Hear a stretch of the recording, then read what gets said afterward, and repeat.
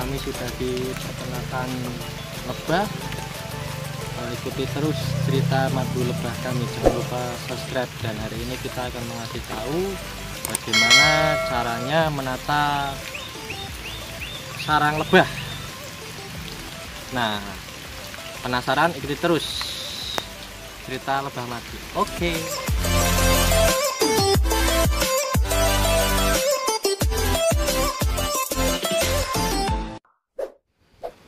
Assalamualaikum warahmatullahi wabarakatuh. Eh, Ini saya sudah di lokasi peternakan lebah Eh, Ingin mengasih tahu gimana cara menata sarang lebah yang benar. Mari kan kawan Nah Asapnya habis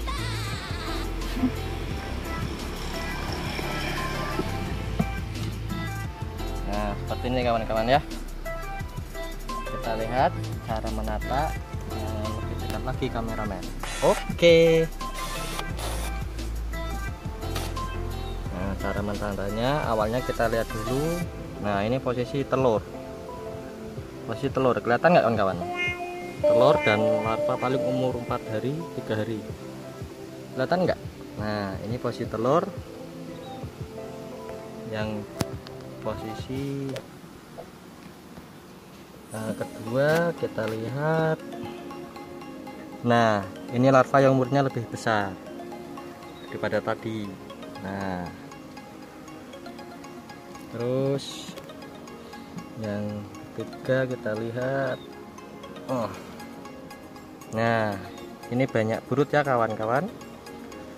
Nah burut kita lihat lagi kelima oh sorry sorry keempat. Biasa mohon saya tempatnya salah. Dan lupa. Ini keempat. Nah ini brood sama larva udah besar besar dan kelima kita lihat. Nah ini posisi bepolen paling depan sendiri. Bepolen kuning-kuning ya kawan nah, nah ini juga bepolen nah ini ratunya kawan-kawan. Hmm, itu namanya ratu impor atau ratu jelly ratu jelly nah ini posisi ini banyak bepolen dan yang terakhir paling depan ini kawan-kawan. Nomor berapa tadi? 6 kayaknya ya. Nah ini sama bepolen ada perutnya. Nah, ini B pollen. Jadi cara penatanya yang B pollen kita keluarkan. Hmm, ini hmm, B pollen kita keluarkan. Ini harusnya udah nambah sarang lagi kawan-kawan. Tapi nanti dulu biar lebih anget. Ini contoh tatanan yang udah anget. Nah, posisi B pollen kita ganti dengan telur atau brood paling kecil. Nah. Dan ini brood besar sama larva besar. Keluarkan dulu. Ini cara nata yang teliti. Nah ini merata brood ada bolanya juga tapi enggak banyak.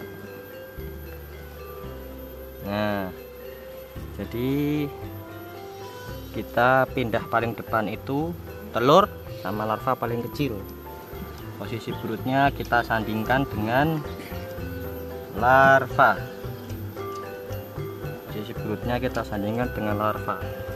Ingat sekali lagi kita nata lebah itu sarang lebah seperti ini kita harus mengejar kehangatan. Walaupun mau dua sarang tiga sarang empat sarang tidak masalah yang penting hangat seperti ini contoh hangat contoh hangat itu tuh merata lebahnya. Tidak kelihatan arang.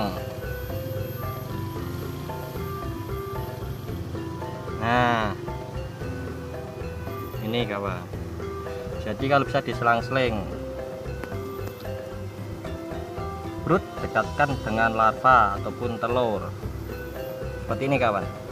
Yang ini tadi telur sama perut kecil. Ini juga sama. Ini good oh, ini polen yang penting diselang-seling. Seperti itu kawan-kawan ya. Cara menata lebah. Nah posisi koloni yang hangat otomatis hangat itu perkembangan lebih cepat.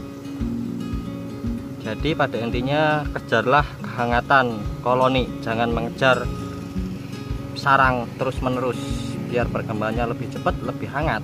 Otomatis cepat karena hangat. Daripada banyak sarang tapi kelihatan arang dan otomatis perkembangannya jadi kurang karena kurang hangat. Nah.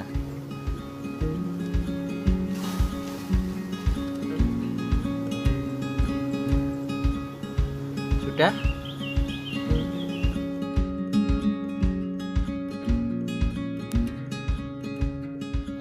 kawan-kawan tadi itu cara menata sarang lebah yang benar jadi posisi satu dua ataupun tiga dari depan itu dari pintu masuk lebah lebah seperti ini. Biasanya kan dia itu kan buat diisi dengan apa? E, bepolen nah maksudnya ditata itu biar tidak berlebihan tidak menghalangi perkembangan jadi otomatis yang bipolen dimundurkan nah ganti posisi depan dengan lot ataupun lava paling kecil. Ya pokoknya cara menatanya diselang-seling tidak masalah. Yang penting uh, posisi apa uh, lebahnya udah hangat perkembangannya jadi cepat apalagi posisi ratunya udah bagus. Insya Allah kembangan bisa jadi bagus. Semuanya bagus? Ya bagus. Sebelumnya terima kasih. Assalamualaikum warahmatullahi wabarakatuh. Dari kami cerita lebah mati. Jangan lupa subscribe.